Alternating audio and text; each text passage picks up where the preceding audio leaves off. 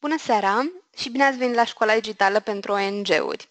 Eu sunt Ana Stamatescu, coordonatorul acestui program creat de Asociația TechSub și voi fi moderatorul acestui webinar. Pentru aceia dintre voi care nu ne cunosc, Asociația TechSub este cel mai mare centru de resurse de tehnologie pentru ONG-uri din țară. Programul TechSub, principalul program pe care îl derulăm, este un program de resurse IT pentru organizații non-guvernamentale care vă oferă acces la produse software și servicii cloud. Programul este derulat în parteneriat cu TechSub Global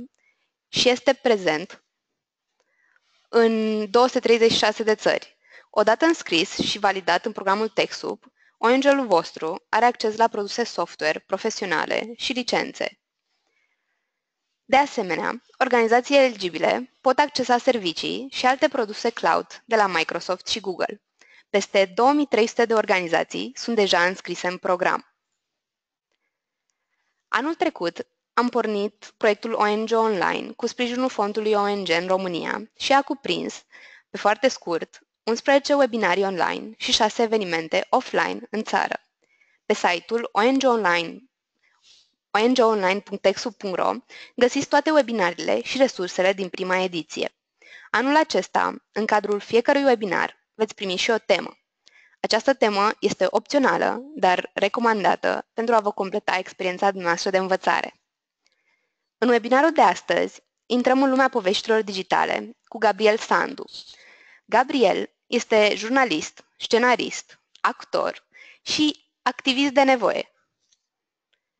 În prezent, scrie, editează, produce conținut video și investigează pentru platforma Brlog.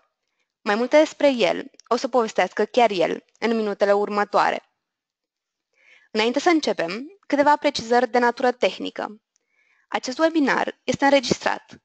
Pentru cei care nu ați mai participat la un webinar, un webinar este o prezentare online în care puteți adresa întrebări pe parcurs sau după. Puteți adresa întrebările voastre pe chat din dreapta ecranului, iar noi le vom citi pentru ca ele să rămână înregistrate.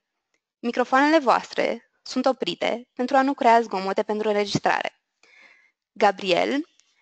când vrei, poți începe.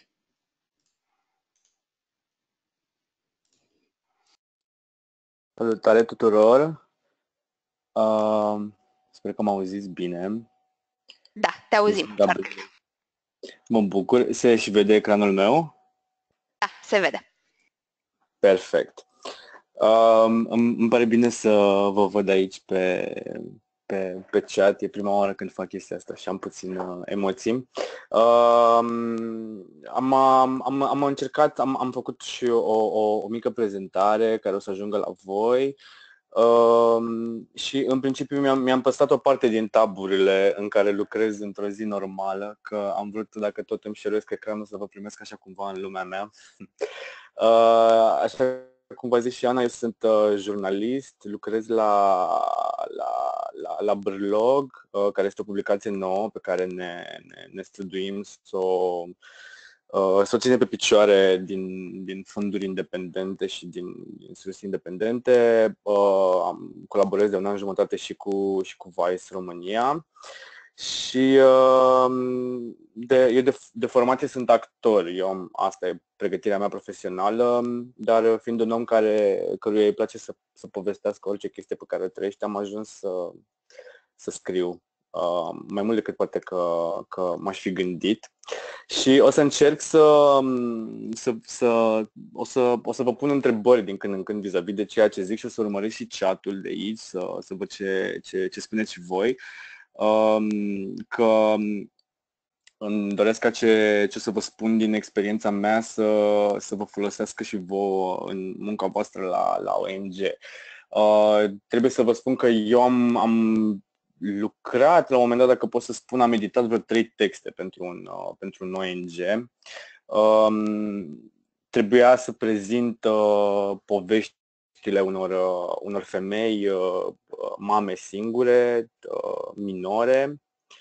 uh, și trebuiau povestite în așa fel încât uh, să, se, să sensibilizeze niște sponsori și uh, mă gândeam că asta e, e, e poate cel mai puternic, uh,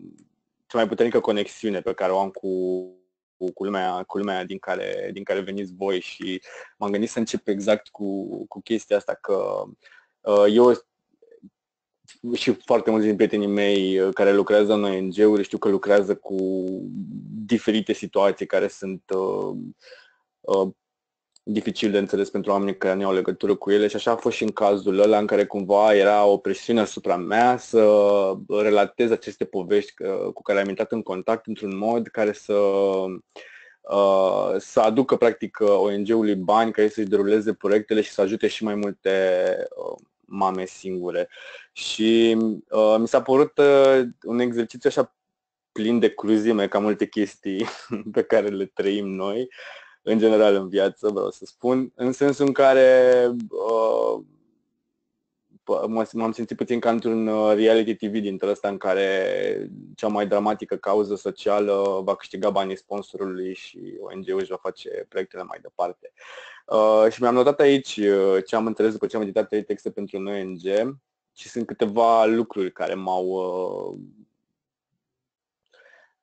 care mi-au atras atenție și pe care vreau să le discut și cu voi. Și anume, mi se pare că oamenii reacționează um, mai în, în măsura uh, în care uh, lucrurile care le sunt prezentate au titlul de urgent uh, și uneori uh, nici atunci.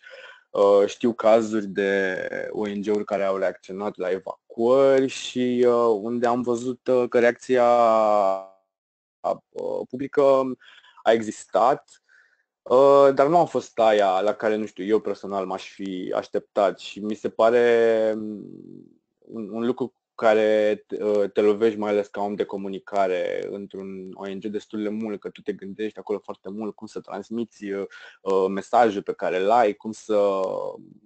cum să faci să ajungă la oameni, ca oamenii să înțeleagă cauza pentru care tu lupți și de multe ori se întâmplă ca lumea să nu reacționeze exact. Și mi se pare o, că este un exercițiu constant pe care uh, e, e mișto de făcut să rămâi cumva tot timpul uh,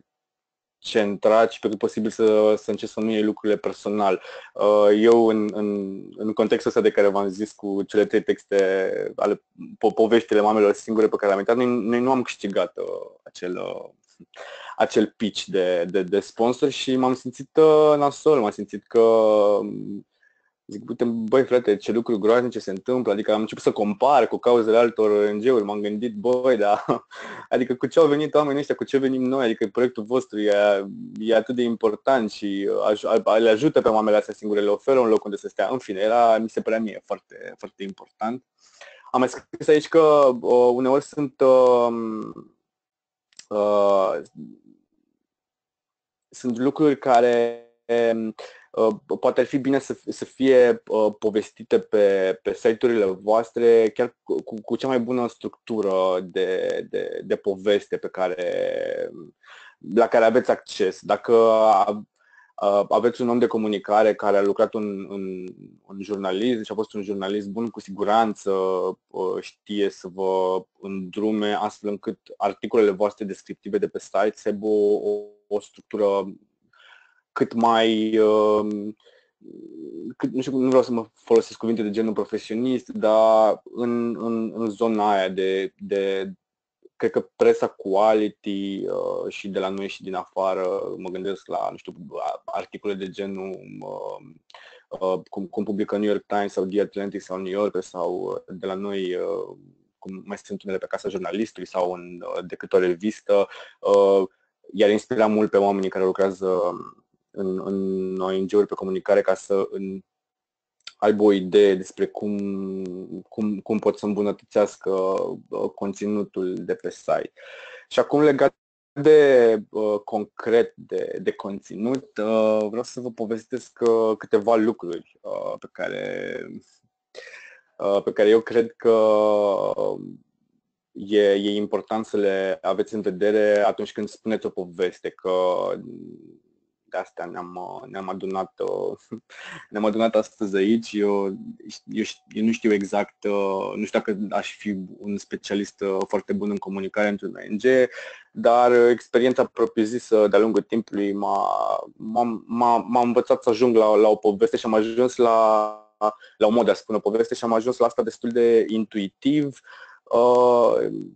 Așa cum am zis deja, eu nu am școală, n-am făcut jurnalism, era, am fost totdeauna foarte bun la limba română, dar cam, cam acolo se, se oprește experiența mea cu scrisul și pur și simplu am, am scris întotdeauna. Mi-a, mi-a plăcut să scriu foarte mult și am, mi-am dezvoltat o oarecare comunitate pe, pe Facebook. Sunt nu știu, aproape 10.000 de oameni care mă urmăresc, dar care au ajuns pe pagina mea în ani de zile. Sunt pe Facebook din 2008 și pur și simplu ăsta e lucru pentru care cred că mulți oameni vin către pagina mea pentru că povestesc diverse chestii care, care mi se întâmplă mie în viața de zi cu zi, care poate unele n-au, n-au o mare valoare. Și uh, mi-am, mi-am amintit de un episod în care unul dintre editorii de la o revistă cu care colaborez mi-a cerut să, să-i povestesc uh, în, în, într-o frază cum am apucat să scriu. Și mi-am amintit de un episod din, uh, din clasa a doua când uh, învățătoarea ne-a cerut să schimbăm uh, finalul poveștii unei prințese deranjată noaptea de un bob de mazăre din Saltea. Și știu că mi-am și acum exact momentul ăla, aveam, aveam scris-o la mare, buclat, așa, am scris pe vreo uh, patru pagini uh, în continuu, nu mai opream, nu mai opream și nu am simțit că a fost o temă. Era prima oară în doi ani de școală deja când nu simțeam că e o temă și m-am marcat chestia asta, că am, am scris și n-am simțit că parcă a fost o temă. Și a doua zi la, la școală, uh, învățătoarea a citit cu voce tare uh, tema și cu un ton așa de amenințare că nu știai niciodată când, când, dacă făceai ceva bine sau nu, că tot timpul părea că ești un picior să faci greșit. Și după, după o oră a zis o să sun pe maică ta să-i spun că ai talent la scris. Și uh, de atunci am, am, tot, am tot scris de-a lungul vieții mele de, de, de școlar, de, am publicat și prin liceu, tot felul de lucruri, dar niciodată nu am, uh, nu am luat-o foarte în serios și cred că dacă se taie curentul acum și se încheie webinarul ăsta, dacă pot să vă zic un lucru care, pe care mi-aș dori să-l păstrați cu voi, e că dacă vă place să faceți ceva, uh, feriți-vă cât puteți să-l transformați într-o meserie. Eu sunt atât de recunoscător că am ajuns să scriu la 27 de ani și nu la 20 când m-am apucat de toate celelalte pasiunile mele. Uh, nici, nici nu știu cum să, cum să exprim această bucurie mai bine. Mi se pare că, că, că școala, în general, m-a îndepărtat de toate lucrurile care, care îmi plac și, uh, și pe voi vreau să vă încurajez în uh, discuția asta pe care o avem acum să, să luați din, din ce vă zic eu, uh, ce, ce vă folosește și să uh, puneți în aplicare în măsura în care rezonează cu voi. Uh, eu nu, nu, nu-mi place să, să sunt destul de cinic în, în propria mea existență, sunt incredibile cinici și acum fac un efort să, să, să nu vă molestești pe voi cu cinismul meu uh, și de asta mă, mă oferesc de sfaturi motivaționale, nu prea, nu prea cred în ele pentru că știu că pentru mine nu, nu funcționează, dar m-am gândit să înșiruiesc câteva din impulsurile uh, uh, care cred că mă ajută să scriu o poveste bună. Și o să iau pe rând și să zic că pentru mine cel mai important lucru este să fii personal. Uh, fie că Uh, și mă întorc la exemplu pe care vi l-am dat cu, cu textele pe care le-am avut editat pentru ONG, care evident nu erau ale mele, erau niște povești ale unor femei uh, pe care cu care am intrat în contact, femei pe care nici măcar nu le cunoscusem, deci uh, n-am, n-am avut o experiență personală cu, cu aceste subiecte, dar cred că cel mai important lucru atunci când scrie, mie mi se pare vital și mi se pare că face diferența uh, între o poveste informativă și una, cum mi se spune, cu suflet, o, o, o poveste care atinge, o poveste care ajunge să fie citită, este capacitatea celui care o scrie de a găsi legătura cu el însuși. Și eu, asta e o chestie, um, probabil că e un defect profesional din, uh, din meseria mea de actor că orice, orice text uh, care mi era dat în școală sau mai departe când am jucat sau uh, la un casting, cumva testul cel mai mare era uh, care dintre noi, dintre actori, reușise să facă uh, textul ăla care nu ți aparținea să fie cât mai personal. Și chestia asta mă, pe mine mă, mă urmărește și mă, mă motivează în lucrurile pe care eu acum le, le, le scriu. Uh, niciodată nu foarte, nu cred, nu cred că am, am scris uh, într-un an jumate de când sunt în presă, poate, nu știu, poate sunt 200 de articole, nu știu, nu le-am numărat, dar nu cred că am scris unul care să nu fie, uh, cu care să nu rezonez personal și nu am ales niciodată subiectele cu care să nu găsesc o, o punte. Și uh, eminamente cred că e, e foarte important or, orice orice chestie aveți de scris de la un status uh, la un, un document, să, să, în momentul în care ai motivația aia personală care te leagă de subiect, atunci uh, se te eliberezi de blocaje și pur și simplu scrii. O altă chestie care cred că e foarte importantă este că cred că ar trebui să ne gândim de, de, de ce ar trebui să intereseze pe cineva povestea noastră. Adică uh, e, e un lucru esențial pe care am învățat despre jurnalism, că sunt uh, foarte, sunt, de, de, și mai ales de când sunt jurnalism, mă contactează foarte mulți oameni care îmi zic poveștile lor și îmi zic, băi, uite ce mi s-a întâmplat, pe tine te urmăresc oameni, te rog, uh, povestește, povestește mai departe chestia asta, uh, fă oamenii să afle despre povestea mea. Și are și o chestie care mi se pare că e o dovadă oarecum de cruzime, că trebuie să curatoriezi între mesajele pe care le primești de la oameni, că sunt anumite perioade în care se întâmplă, nu știu, diverse contexte sociale și primesc multe mesaje și pe adresele de redacție, la publicațiile la care lucrez și mai ales pe Facebook-ul meu personal. Și de multe ori asta e întrebarea care hotărăște ce informații răspundeți mai departe și ce nu, în ce măsură povestea asta are de ce să intereseze și pe alții și de ce ar trebui să intereseze. Și cred că fraza aia de, de început în care explici clar de ce ar trebui să, să, să intereseze pe cineva um, subiectul pe care tu îl abordezi, um,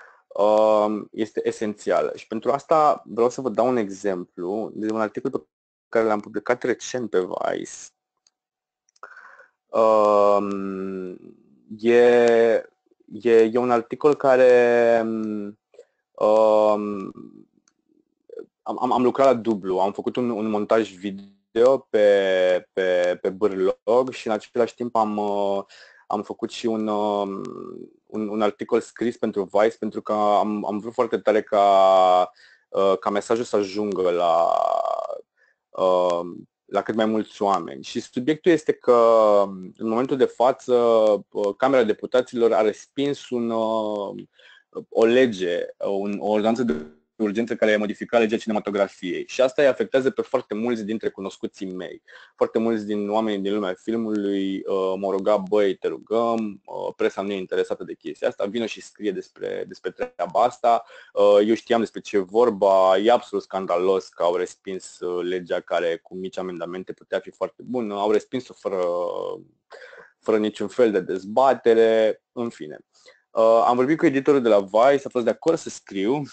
Uh, am fost la eveniment, am discutat cu oamenii, am scris articolul, l-am trimis în redacție și în timp ce editam, noi edităm tot, tot, tot ce edităm, edităm live în, uh, în Google Docs, cam așa arată un, un drive de, de jurnalist care prinde documente la care lucrează. Și în timp, ce, în timp ce edita colega mea textul pe care l-am trimis, a inserat o frază, o, o, o propoziție care uh, pe, pe mine m-a bufnit râsul instant, pentru că mi-am dat seama uh, ce a vrut să zică cu ea. Am selectat aici, probabil te întreb de ce ar trebui să te intereseze subiectul ăsta. Uh, și e ceva ce eu am omis atunci când am scris articolul, pentru că eram atât de prins că uh, e o lume pe care o cunosc atât de bine, lumea cinemaului, sunt uh, prietenii mei, sunt oamenii pe care, cu care lucrez în cealaltă meseria mea și vreau atât de mult să, să scriu material bun care să, să ajute cumva ca cauză, să afle cât mai mulți oameni, ca să se întâmple ceva pozitiv mai departe, încât am uitat complet că, în fond, uh, artiștii sunt un subiect nișat, adică nu interesează pe foarte multă lume despre ordonanțele astea care privește domeniul lor și care sunt neclare, e foarte greu să faci să, să înțelegi. Și atunci colega mea a scris uh,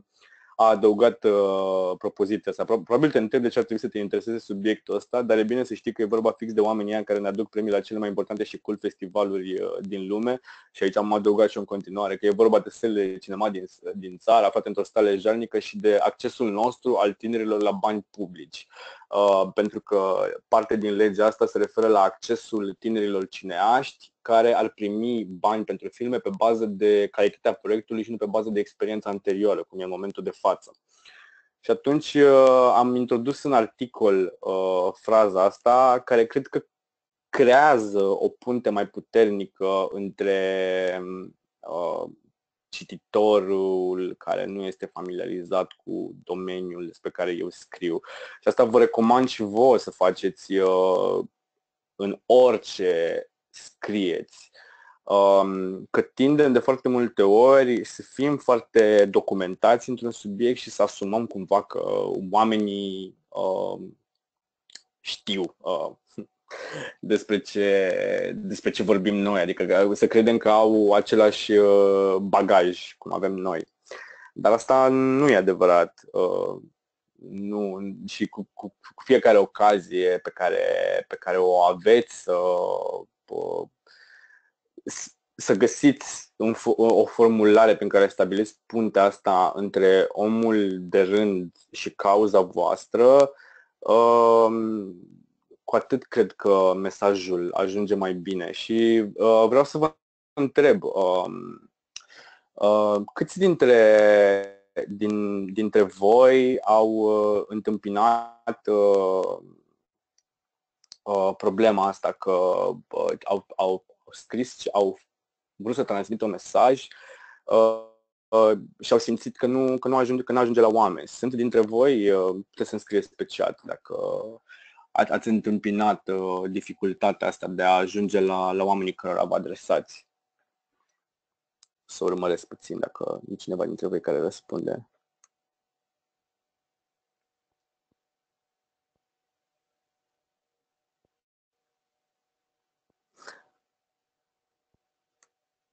Ok. Cred că o să o să Da, sunt cauze mai puțin comerciale, spune Silvia și Lucian și Alina Maria Neamțu s-a lovit de asemenea situații. Da, e, um, cred, că, cred că asta de fapt e o, ce definește uh, versatilitatea unui om de comunicare într-un ONG, e cred că experiența asta în a, în a crea crea bonding-ul între povestea pe care tu ai de zis și uh, publicul căruia îi te, îi te adresezi și um, um, cred că exercițiul ăsta te ajută și mai departe în, în, în toate um, domeniile în care ai nevoie de a stabili un contact cu oamenii care să, să rezoneze cu, cu ceea ce faci tu. Um, am mai scris aici, um, uite, cineva, Norela Costa spune că lucrează în domeniul muzicii clasice. Da, uite, asta, de exemplu, ar putea să fie o, o, o temă bună pentru un om de publicitate, să găsească o idee de campanie prin care să sensibilizezi oamenii la domeniul muzicii clasice și alți oameni care nu sunt uh, consumatori de mm, poți face o, bine acum în cap o campanie de cu Mozart Cool, care uh, e, e de-al tinerilor. Uh, am mai scris aici că uh, e important să folosești uh, o analogie deșteaptă și să organizezi haosul din mintea ta. Um, ăsta e și cuvântul pe care, uh, pe care Ana de la uh, unul dintre organizatorii webinarului, când, când mi l-a cerut, l-am dat cuvântul analogie. Um, eu, an, analogie, am, am și făcut un, un, aici am făcut un, uh, un, un un slide. Um, analogia e o, în definiția din dicționar, e o asemnare parțială între două noțiuni, situații, fenomene și um, în, în munca noastră, eu cred că uh, ăsta e un instrument care te conectează foarte, foarte bine cu, cu cititorul. E fix puntea asta emoțională de care Uh, de care tot ziceam. E un instrument care, te, care uh, poate să facă uh, majoritatea să empatizeze cu ceva care este particular, care e, folos- care e cum, cum ziceai, cum e cazul domeniul în care tu lucrezi cu, cu, cu muzica clasică. Um, tehnica asta a analogiei, am, am câteva exemple, sper să, sper să vă, vă fac să, să înțelegeți la ce mă refer. Um, e, un, e un story pe care l-am, l-am scris. Uh, ideea a pornit de la, de la faptul că romii au fost uh, timp de 500 de ani uh, sclavi uh, în țările românești. Ăsta este un subiect care nu se dezbate în școli. Uh, ei au fost eliberați de doar 160 și, mă rog, uh, sunt o fel de tergiversări ale uh, guvernelor României care are, a recunoscut uh, foarte târziu uh, și Holocaustul romilor, uh, plătește foarte greu și cu întârziere uh, daunele uh, supraviețuitorilor Holocaustului rom și așa mai departe. Uh, și uh, în, în, în articolul ăsta eu am, am, am fost la o piesă de teatru uh, a Alinei Șerban care a documentat absolut senzațional subiectul ăsta al sclaviei rome. Dacă, uh, dacă aveți ocazia să-l vedeți, vi-l recomand. Se numește Marea Rușine. E o documentare senzațională, sunt un scenariu foarte, foarte bun. Și s-a, uh, s-a jucat uh, la Teatrul Național în cadrul uh, sărbătoririi, comemorării a 161 de ani de la eliberarea romilor din sclavie. Uh, asta era, asta era fișa, a fost în februarie 2017. Și un, uh, pur și simplu, ideea a fost să scriu pe subiectul ăsta și să, să fac un review al, uh, al spectacolului. Um, am stat, cred că o săptămână să scriu, e, nu știu cum e la voi în munca pe care o faceți voi, dar în ce fac eu, de multe ori se întâmplă să lucrez, probabil că și, pe mai mult ca sigur așa și la voi, că lucrați simultan la o mie de lucruri care de multe ori se bat cap în cap și nu se mai stă mintea la ele și așa mai departe. Iar asta este unul dintre textele la care um, am pierdut firul. Am stat o săptămână, mm, nu, nu-mi găseam motivația să-l scriu, mi se părea că e foarte important, mi se părea că trece timpul și mi se părea că uh, voiam să fie pe platforma noastră subiectul ăsta și să fie abordat cât mai mișto, dar nu, n-am, nu știu, pur și simplu n-am, n-am găsit conexiunea aia între mine și el de care, de care ziceam la început. Și mi-am amintit că înainte să intru la, la piesa asta de teatru, eu l-am, l-am, l-am întâlnit pe unul dintre prietenii mei din copilărie, uh, Marian, care mi-a promis că uh, după spectacolul să stăm de vorbă să povestim despre ce a mai făcut el. Marian uh, e, este rom și acum eram foarte curios să văd ce face el. El a fost coleg de clasă cu mine la un moment dat, mai că a fost exmatriculat de vreo 3-4 ori.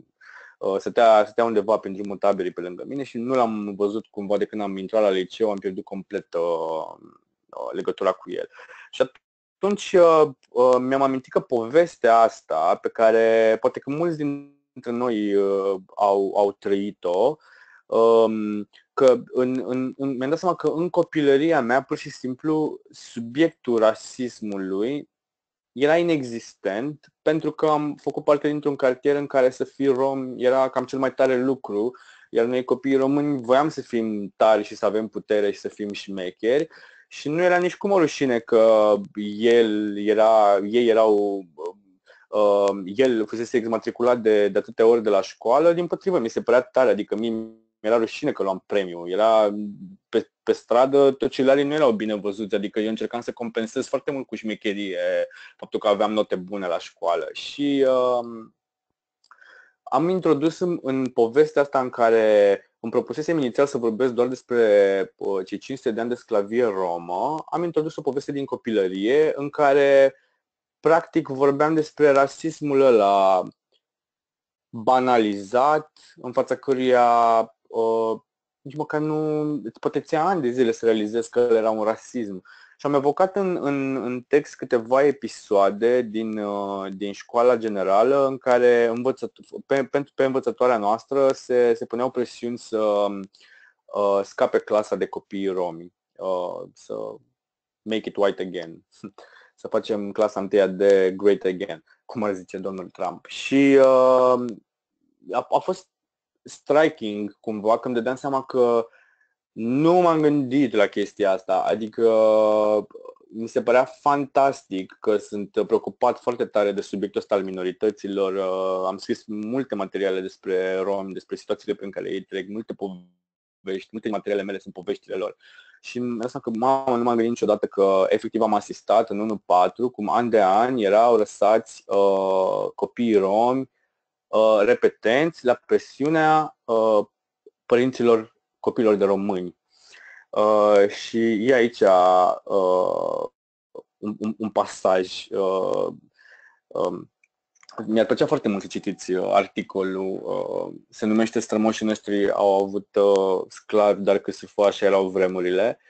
Um, e, e un pasaj despre Roza, o fetiță grăsuță care atunci când râdea se zgudiau băncile, era extrem de isteață, uh, se baza mereu când era ascultată pe ce auzise în clasă fără să-și noteze vreodată ceva. Uh, ne surprindea pe toți cu răspunsurile ei care erau așa on point. Uh, nu venea niciodată cu temele făcute de acasă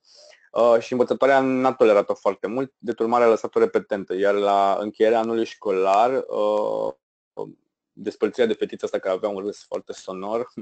a, s-a, s-a făcut printr-o replică pe care mi-am amintesc foarte clar și învățătoarea i-a zis păcat de tine, Rozo, că nu ești proastă deloc. Um, și ce vreau de fapt să zic este că uh, povestea asta personală mi-a dat o dinamică uh,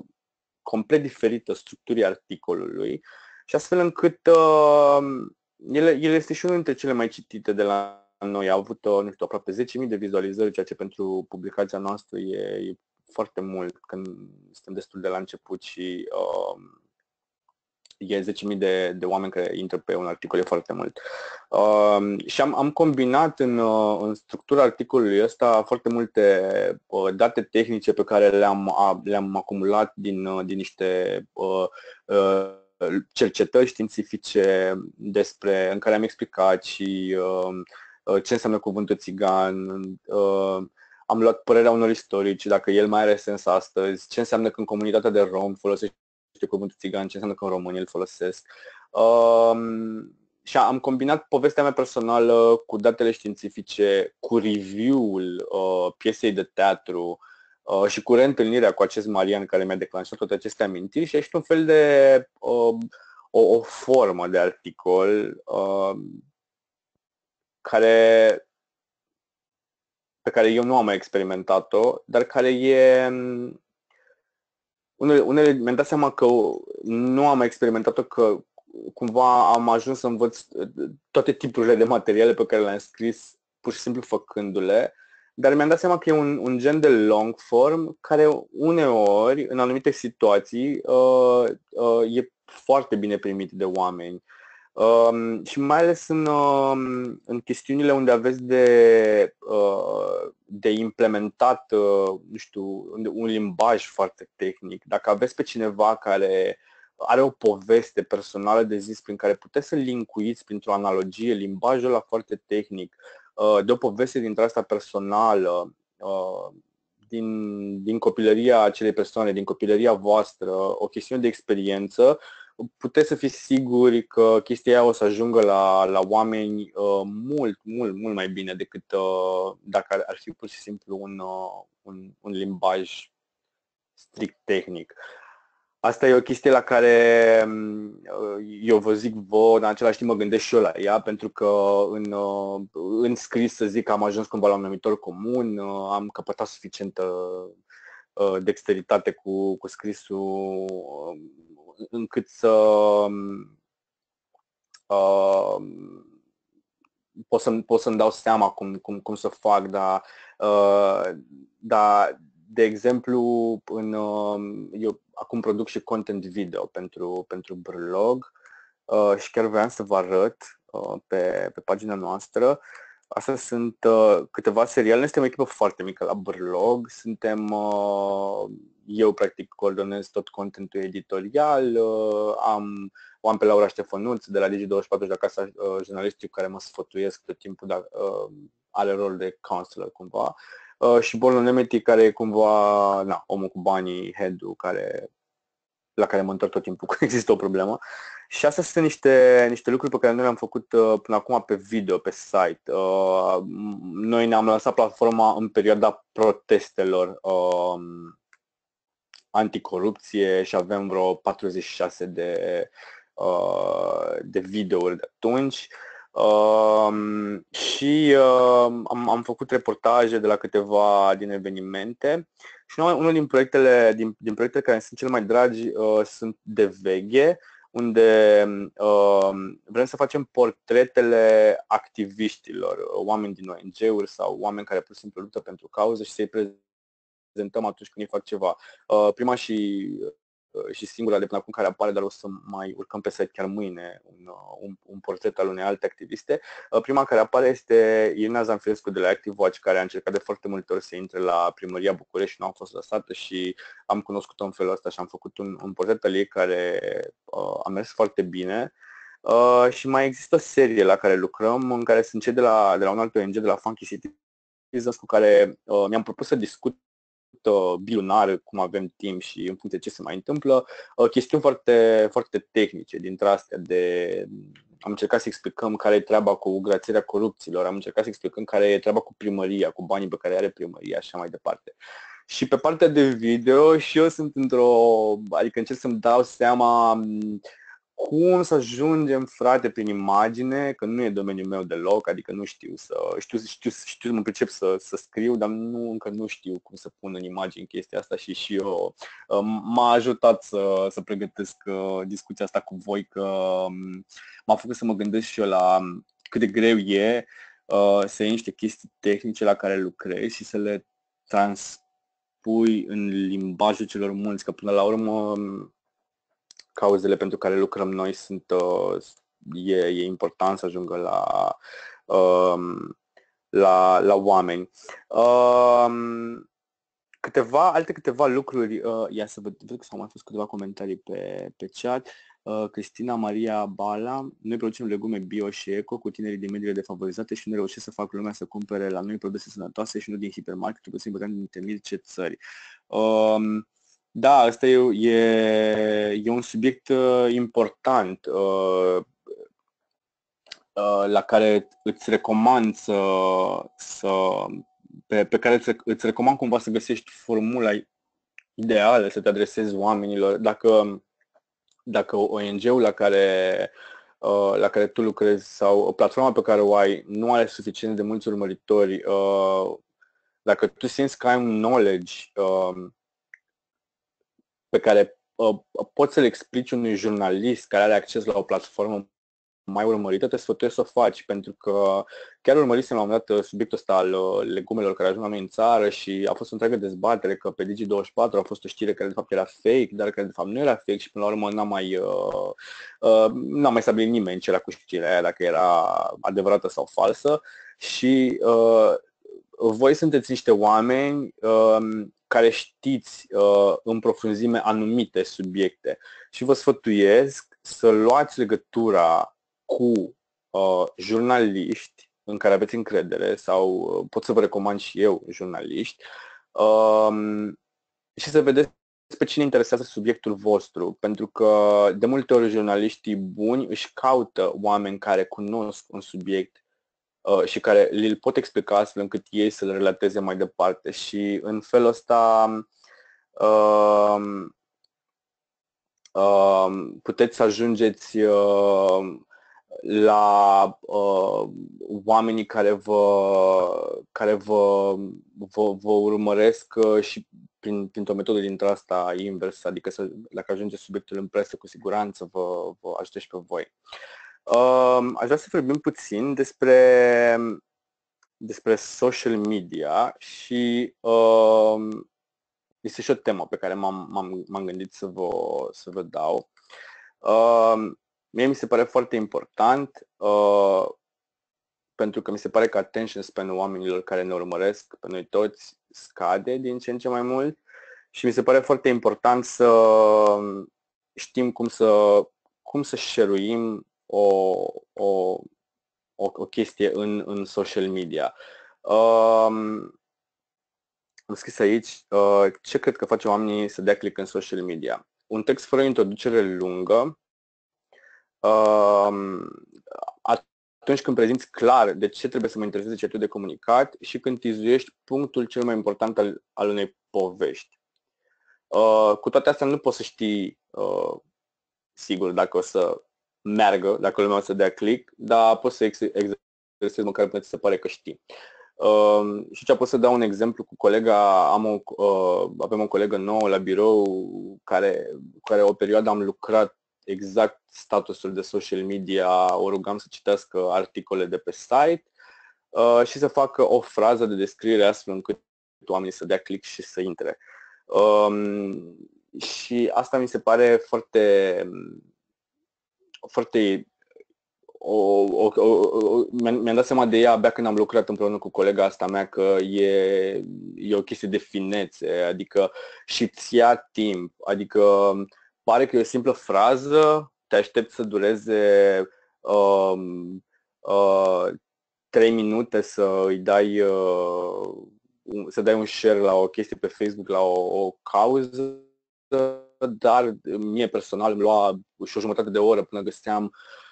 ce anume din ceea ce vreau să dau share să scot în față,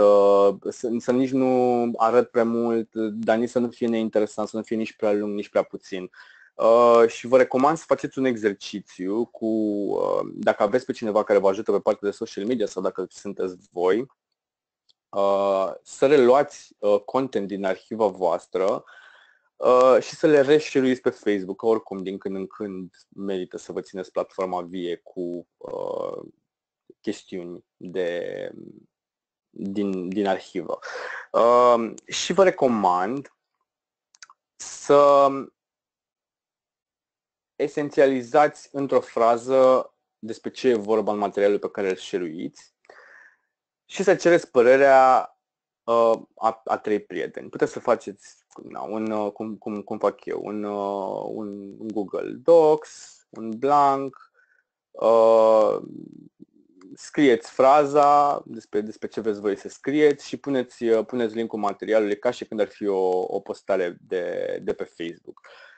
și cereți părerea a trei oameni în care aveți încredere și întrebați-i, puneți să voteze. Tu dacă ai citit chestia asta și n-ai, nu mai știi, n-ai ști despre ce lucrezi, despre ce fac, tu ai dat click pe chestia asta sau nu ai dat click. Și uh, apelați în general la oameni despre care nu aveți dubii că sunt uh, foarte onești și uh,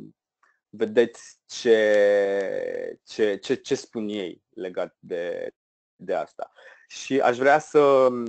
v-a, v-a spus Ana la început, aș vrea să vă dau, uh, să, să aveți, asta să fie tema voastră uh, peste care eu o să, vă, o să mă uit și o să vă dau un, uh, un feedback. Um, având în vedere lucrurile pe care, pe care le-am, le-am, le-am vorbit, aș vrea să vă, să vă rog pe cei care vreți să faceți asta să, să faceți o frază uh, pentru un material pe care îl alegeți voi, un material reprezentativ la care, de pe site-ul vostru, la care țineți foarte mult, pe care vreți foarte tare uh, să ajungă la oameni și să faceți o frază, două, poate să fie și mai lung, poate să fie și mai scurt, atât timp cât e interesant, uh, n-aș spune că e, e relevantă lungimea, în care să combinați uh, un, un element personal cu knowledge-ul pe care îl șeruiți. Să găsiți o, o frază care să găsească puntea asta între ceea ce este la voi pe site și um, oamenii care, la, la, la care vreți să ajungă mesajul vostru. Uh, mi-ar, mi-ar făcea plăcere să, să văd uh, și v-aș, v-aș sfătui să uh, mai ales în, într-o fază, fază de început în care uh, poate vreți să experimentați altceva, poate, poate na, partea asta de comunicare, sa s-a, s-a banalizat sau nu știu cum să zic, a devenit o rutină, chiar vă, vă sfătuiesc, chiar dacă uh, poate textele astea pe care mi le trimiteți mie nu o să fie publicabile, să nu vă fie frică să, să faceți să fie foarte personal. Poate pentru voi, poate să fie foarte personal la persoana întâi, poate să fie pentru mine personal sau poate să fie foarte personal pentru un terț de care povestesc, de care povestesc la, la, la persoana a treia. Și uh, mă întorc la un, uh, la un slide pe care l-am făcut că uh, cred că e foarte important să ai tot timpul un rol în chestiile pe care le comunici. Um, moment, pentru că în momentul în care tu nu ai un rol în chestiile pe care le comunici și nu ți, nu-ți asumi un rol, cred, experiența mea este că, că lucrurile tind să devină o rutină. Uh, și vreau să vă întreb, în, uh, în jobul vostru, nu știu exact uh, fiecare dintre voi cu ce se ocupă, dar în, în ceea ce faceți voi, în comunicare, ați simțit că uh, a devenit o rutină la un moment dat?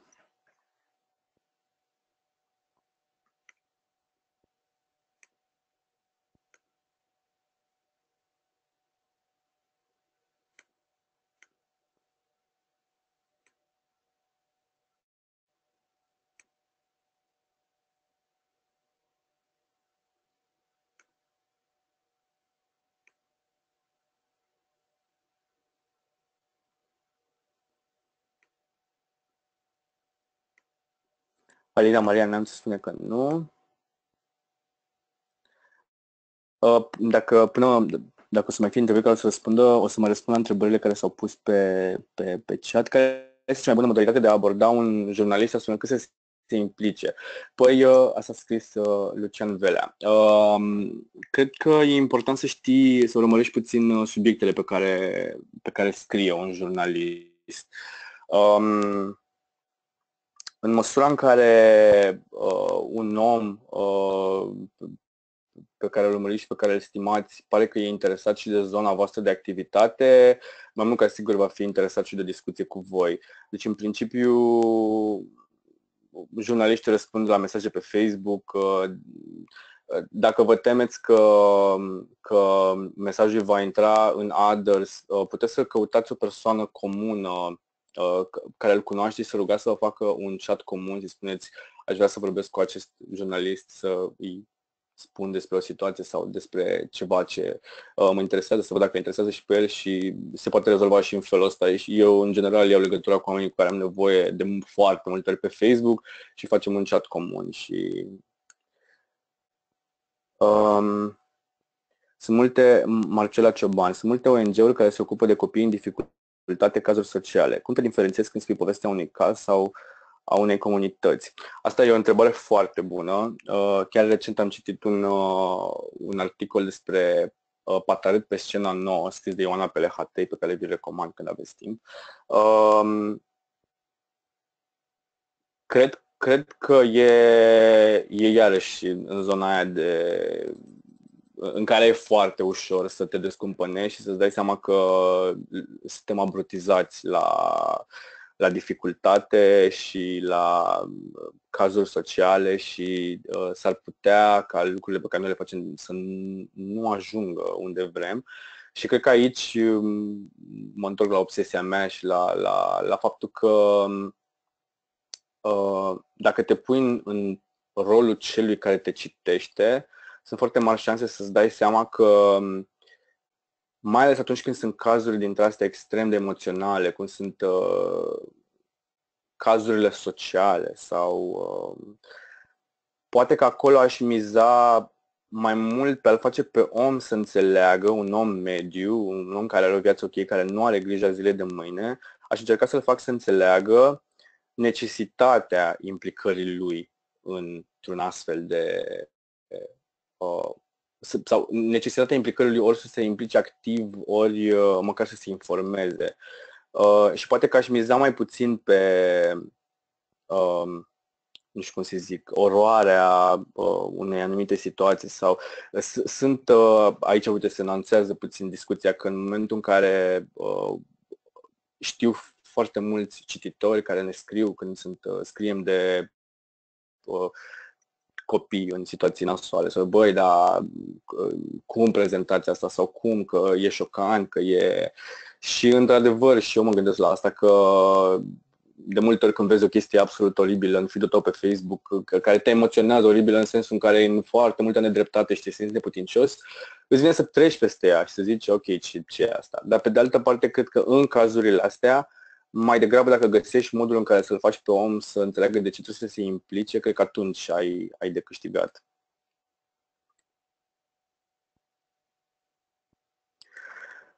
Norela Costea, când încep să ai impresia că știi ce de făcut, imediat devine rutină. Uh, așa e. Uh, I couldn't agree more. Așa e. Da, uh, nici eu nu am, am foarte puține certitudini. Uh, sunt doar câteva lucruri pe care le, le intuiesc și uh, pe care sper că le-am am reușit să le împărtășesc și cu voi atât cât am reușit.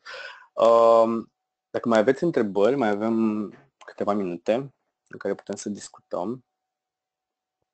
Că mai sunt întrebări legate de, de ceea ce am spus, de uh, impulsurile pe care, pe care, pe care le-am scris aici.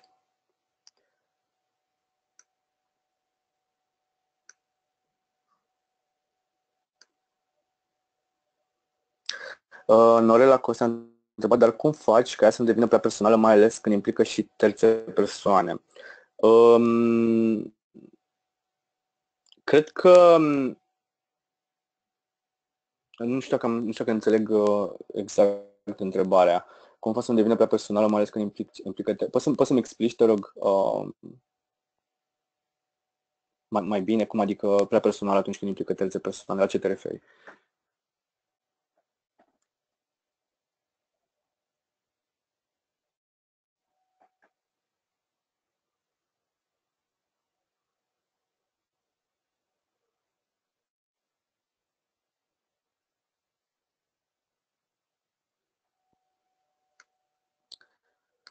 Uh, ce nu să evităm când spunem o poveste? Vorbesc prin carte celorlalți. Aha. Um, e foarte important atunci când, uh, când spui o poveste care, care nu ți aparține să și expui identitatea um, unor oameni. Este foarte important să fii sigur că ei sunt confortabili cu toate lucrurile pe care tu le vei spune apoi public. Uh, pentru că poveștile sunt, sunt spuse au un impact sau nu au un impact, ele trec, um, dar impactul pe care îl au asupra oamenilor expuși în acest mod, noi avem o responsabilitate față de ei. Și e foarte important, mai ales persoanele care se află în situații vulnerabile și cărora noi le spunem povestea mai departe, să fim cu o mie de pamper și cu mânuși, poate să ne asigurăm de o mie de ori că am folosit wording-ul potrivit, că um, că nu îi lezăm nici cum și că nu îi punem într-o situație în care să se simtă și mai vulnerabil decât sunt deja. Uh, e, e, e foarte important să nu, să nu ne grăbim uh, cu atunci când, când scriem texte despre oameni care se află în situație de vulnerare. Poate să cerem alte păreri, să, să, să verificăm cu ei, să parcu- poate, poate le citim anumite pasaje, deși în unele cazuri poate fi absurd, dar e, e important să, Uh,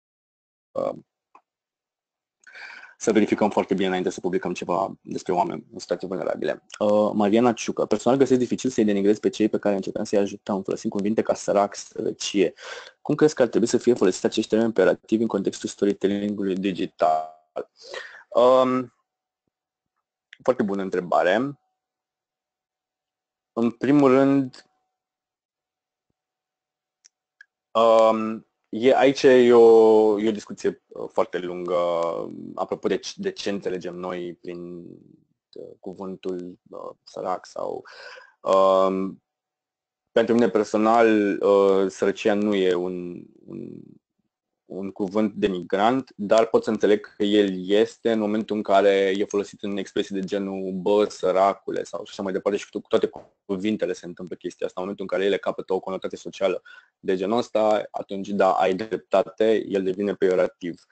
Um, cred că trebuie tot timpul să ne reorientăm spre termeni. Um, cum, cum e ăsta? Persoane aflate în situații de risc social persoane aflate în situații de vulnerabilitate, oameni fără adăpost.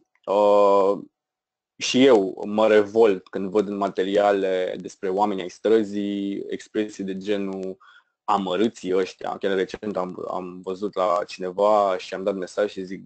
băi, nu mi se pare ok să scrii despre niște oameni ai străzii, să tot repeți în text amărâții ăștia, amărâții ăia. Pentru că cuvântul ăsta are o greutate și nu cred că ajută pe nimeni, nici pe cei care nu sunt amărâți și mai ales nu pe cei care chiar sunt amărâți. Uh, și aș folosi întotdeauna expresii de genul ăsta, cum, ca cele pe care le-am dat exemplu mai devreme, dar cu mențiunea că uh, tot timpul aș avea grijă să exemplific ce înseamnă persoană care se află în situație de vulnerabilitate sau um, de risc. Ce șanse de succes uh, ai dacă nu există buget de promovare, comunicare și ce variante alternative folosi în această situație? O altă foarte bună întrebare. Uh, cred că dacă nu există buget de promovare, de comunicare, uh, unul dintre oamenii care face altceva uh, ca să aducă succesul va trebui să sacrifice foarte mult din timpul lui uh, și cineva va, va, va munci ca și când există buget. Din păcate, nu cred că există o cale de mijloc. Uh, ori cineva va fi overworked uh, complet, ori, uh, ori departamentul de comunicare nu are cum să funcționeze. Uh, uh, asta cel puțin din, din, experiența, din experiența pe care eu am. Departamentul de comunicare e, sau un om care se ocupă și de comunicare e, e vital, e vital, pentru că în felul în care ne alegem cuvintele și în felul în care uh, ne prezentăm stă foarte mult din impactul pe care îl avem, din sponsorii pe care putem să-i atragem pentru cauzele noastre din, și așa mai departe, din uh, stă povestea pe care noi o spunem, adică tot, totul e o, e, o, e o poveste până la urmă și uh, foarte mult uh, ține de, de această persoană. Și cam, cam asta cred. Ok, dacă mai sunt și alte întrebări sau comentarii. Um, sper că v-a făcut plăcere și că nu v-am uh, plictisit prea tare. Uh, și sper să vă folosească cumva în ceea ce faceți voi uh, experiența mea și vă, vă încurajez să faceți tema de care v-am zis mai devreme, să scrieți un status pentru o cauză pe care voi vreți să o șeruiți și să o să, să, să o faceți să fie personală și uh, să folosiți o analogie ca să fie de impact pentru cât mai mulți oameni. Eu să mă uit peste ele și să fiți uh, în, în comunicare cu, cu ceilalți și cu, cu oamenii, să, să rămâneți intuitivi. Cred că asta e, e cel mai important și uh, oricât uh, oricâte cursuri de storytelling ați face sau orice v-ar spune oricine, uh, cred că intuiția care îți spune dacă mesajul tău a ajuns la celălalt sau nu a ajuns, aia e, e o cărămidă foarte importantă. Mulțumim mult, Gabriel. Dacă mai sunt întrebări, um, ne puteți trimite întrebările voastre și Gabriel o să ne ajute cu răspunsurile. Mulțumim încă o dată, Gabriel, pentru timpul și lucrurile împărtășite cu noi, iar vouă tuturor vă mulțumim pentru prezență și atenție. Vom reveni zilele următoare cu un mail de follow-up cu prezentarea lui Gabriel și tema de casă, provocarea webinarului. Acum voi închide webinarul repede pentru a porni acel formular de feedback pe care vă rugăm să-l completați. Mulțumim mult, la revedere!